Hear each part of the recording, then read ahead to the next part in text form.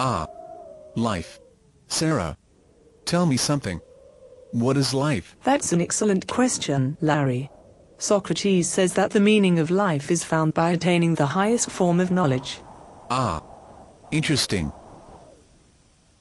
But what is life? Well, Tolstoy once said that life is the greatest evil. Yes, okay. But what is life? What is it? In 430 BC, Empedocles argued that everything in the universe is made up of a combination of four eternal elements earth, water, air, and fire. But I still don't get it. What, what is life? Well, Larry, Lynn Margulis claims that it is perhaps short-sighted to only ask a human, like me, the meaning of life. Consider that humans are but one species out of tens of millions that inhabit Earth. And so, as she says, we cannot expect to divine all of life's mysteries simply by consulting our inner selves.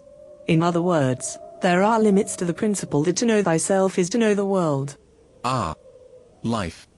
But really, what is life? What does it all mean? Oh, do you know what, Larry? Fuck you. That's the meaning of life.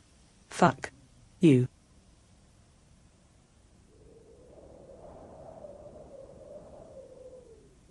Sarah. Sarah, please tell me. Please, Sarah. You've got to tell me.